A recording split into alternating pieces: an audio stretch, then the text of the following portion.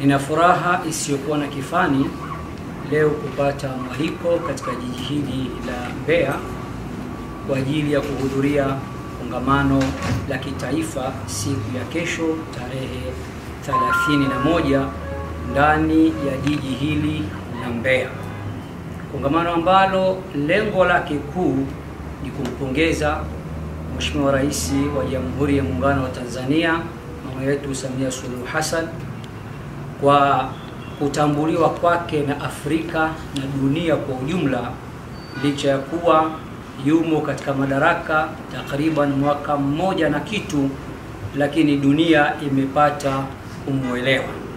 Pamoja na pongezi hizo, pia tunategemea kumwombea kila la heri ili Mwenyezi Mungu aendelee kumbariki, kwani Mwenyezi Mungu akimbariki yeye na akaubariki uongozi wake, ndiyo atakuwa ametubariki Watanzania wote.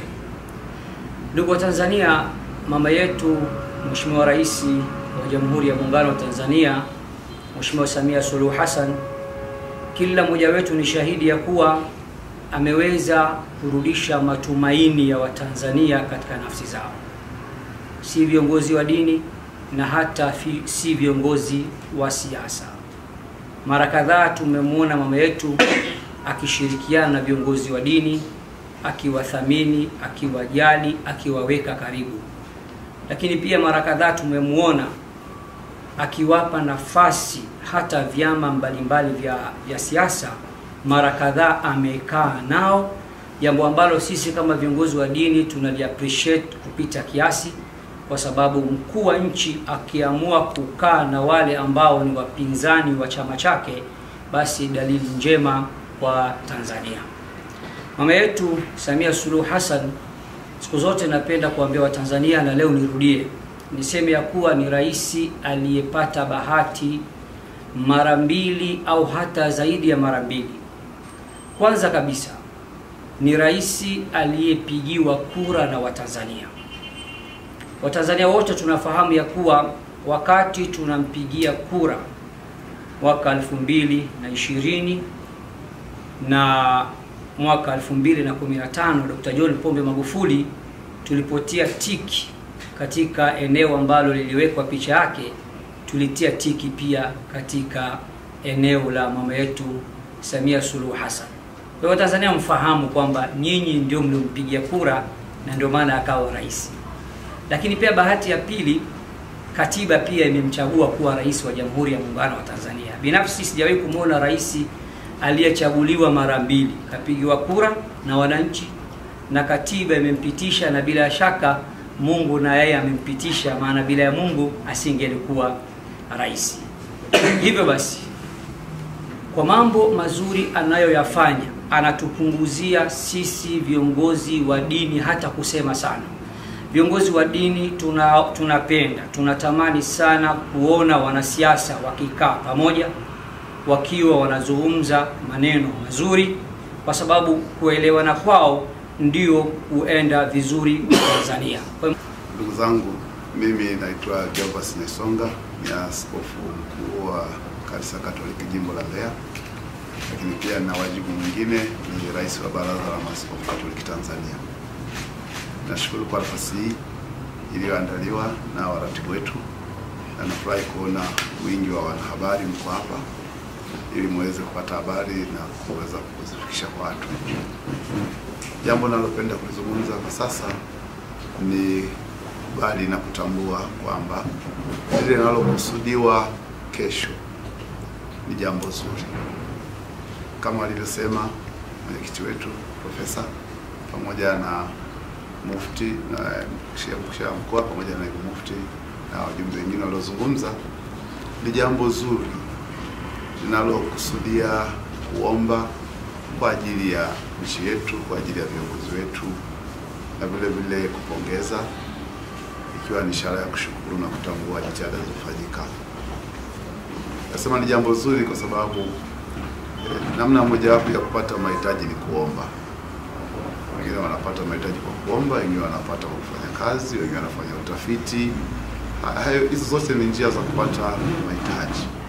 Sisi Watanzania tuna mahitaji na wazee wetu wamesema hapa, hitaji letu la kwanza na msingi ni, ni amani na utulivu na mazingira mazuri, ili shughuli zinazofanywa na watu kadiri ya vipaji vyao ziendelee.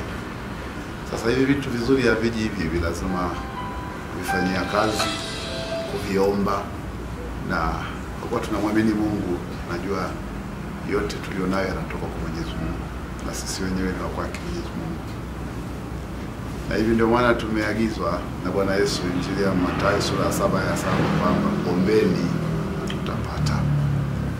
Kwa kuwa tumeagizwa na tunajua kweli kwa kuomba tunapata, ndio maana nasema ni jambo zuri tukio la kongamano la, la kesho. Tulipokee kwa moyo wa dhati na tulitoe kwa imani kabisa, kwa sababu tunahitaji kweli kuomba kwa Mwenyezi Mungu nchi yetu iendelee kufanya vizuri. Tunahitaji sana, zetu wenyewe hatuwezi, wako wengine kama sisi, lakini wanatamani tulivyo. Basi tuendelee kuomba, na ndio maana tunakusanyika kwa lengo hilo. Pia tunaombea viongozi, sababu mara nyingi mambo huharibika viongozi wanaposhindwa kufanya kazi yao vizuri, na, na kila mara viongozi wanaposhindwa kufanya kazi yao vizuri, watu wasio na hatia ndio wanaoumia zaidi, wadogo wadogo wasio na, na utetezi ndio wanaoumia zaidi. Sasa katika hali hiyo tunahitaji sana nguvu za kimungu ili sisi viongozi tutumie kwa hofu ya Mungu mamlaka na madaraka tunayopewa, ili machozi ya wanyonge yasitugeukie yasi, yasi, yasi, kuwa laana. Ndio maana tunahitaji kuomba sana Mwenyezi Mungu atuepushe tusiingie katika laana hiyo, katika hali hiyo ya kupata matatizo kwa sababu tu viongozi e, wameshindwa. Lazima tuombe. Katika maandiko Bwana Yesu alisema matatizo mengine hayatoki hivi bila kuomba. Lazima kuomba sana na kufunga. Ndio maana sisi viongozi wa dini tunajua tuna wajibu wa kuwaongoza watu kuomba. Ndio maana tunaona tunafanya jambo hilo. Tunapopongeza nakiri kwamba tuna macho, tuna masikio, na hivyo tunashuhudia kwamba tumeyaona mazuri, tumeyaona yakitendeka, na tunajua tutakuwa na, na utulivu kama nchi inayumba, tutakuwa na utulivu kama viongozi wanayumba, tutakuwa na utulivu kama viongozi hawathaminiwi. Kwa jina ni Mahmud Musa Wadi, ni naibu mufti mkuu wa Zanzibar na ni memba wa kamati ya kudumu ya amani na utulivu kule Zanzibar, na tushukuru tumshukuru Allah subhanahu wa ta'ala ambaye ametukutanisha katika kikao hichi cha leo, ikiwa ni maandalizi ya kikao chetu cha kesho cha kongamano. Katika maandalizi haya, bila shaka tuna nafasi kubwa kama wenzangu walivyosema kwamba sifa za viongozi wetu zimetajwa kwa wingi, hazifai kurejea rejea, lakini mimi nishukuru tu kwamba viongozi wetu wa juu, Rais wa Jamhuri ya Muungano wa Tanzania, Rais wa Zanzibar na mwenyekiti wa Baraza la Mapinduzi wameshikamana pamoja. Wao kwanza, wao wameshikamana vizuri katika kuitafutia Tanzania maendeleo na imani yao kwamba kama hakuna amani hakuna maendeleo. Kwa hivyo, bila shaka, jambo la kwanza ambalo wamelitilia umuhimu wa kwanza ni amani. Amani yetu ikiendelea vizuri, ikidumu, wana imani kwamba maendeleo kuyafikia ni mara moja. Mifano imeshatajwa hapa, hatua ambazo tumekwenda kwa kipindi kifupi tu cha Rais wa Jamhuri ya Muungano wa Tanzania kwa yale aliyoyaacha marehemu Dr. Magufuli, anaendeleza, ameanzisha ameanzisha mapya, na hayo mapya ni mengi sana ambayo tayari yameshapiga hatua. Sasa hili ni dalili tosha ya kwamba amani, amani, umoja, umoja, upendo na mshikamano. Hili niseme sisi wa Tanzania hatuna budi kulishika kwa mikono miwili, kushikamana na viongozi wetu ili kuliendeleza, baadaye tutapata maendeleo ya ghafla.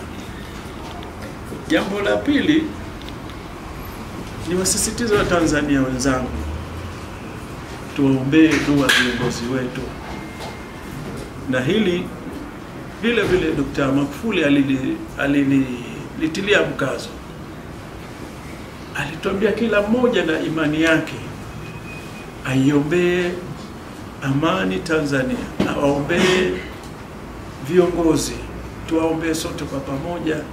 Sasa ukichanganya na haya maendeleo ambayo tumeyapata hivi sasa, hatuna budi tuombe zaidi na zaidi, kila mmoja kwa imani yake awaombe ili tuweze kufikia maendeleo. Tunashukuru Mungu sana kwa ajili ya tukio hili ambalo limetukusanya kwenye jiji hili la Mbeya. Ni tukio la maana na la muhimu sana, kwa sababu vitabu vyote vinaonyesha hakuna taifa linaloweza kusimama kama viongozi wa dini watakuwa hawata hawatasimama kwenye zamu zao, maana zamu zetu sisi ni katika maombi, na tunamshukuru Mungu kwa ajili ya taifa hili, tunamshukuru Mungu kwa ajili ya uongozi. Na nisingependa nirudie ambayo wenzangu wamekwisha kuyasema tayari, ya kwamba Mungu ametukirimia neema ya kipekee sisi wa Tanzania kuwa na rais ambaye anaweza kusimamia ima, a, amani ya taifa na ambaye anaweza kusimamia bila kujali udini, kwa sababu ili amani iharibike ni pale ambapo viongozi wanaweza kuegama kwenye dini moja lakini wakati tunapokuwa na viongozi ambao wanasimama na viongozi wote wa dini, ni rahisi sana kuijenga amani. Na hivyo basi, napenda niseme tu kwamba kwa wakati huu Mungu ametuchagulia rais ambaye ameonyesha msimamo imara sana. Kwa umbile ni mwanamke, lakini kwa uongozi anaonekana kama mwanaume na uzuri wa Mungu hajamuumba mtu fulani ndiye awe, awe wa jinsia fulani tu ndio awe kiongozi. Tunasoma hata kwenye vitabu mbalimbali vinaonyesha kwamba Mungu kusudi lake ni kwamba yeyote anaweza kuwa kiongozi, na imedhihirika katika taifa letu la Tanzania. Kwa hiyo kongamano hili kesho, nadhani tutakuwa na wakati mzuri sana wa kumwambia Mungu asante na kumwambia Mungu tuende, tuendelezee mema yote na kutuongezea mengine mapya. Nakuhakikishia maji ya Tukuyu ni bora kwa ajili ya afya yako wewe, yamerudisha furaha kwa familia yetu, yanaongeza madini mwilini, yarudisha ubora wa ngozi yako. Kwa jina anaitwa Mwalimu Mwampelwa, mwalimu wa Tukuyu Sekondari, na kunywa maji ya Tukuyu. Mm.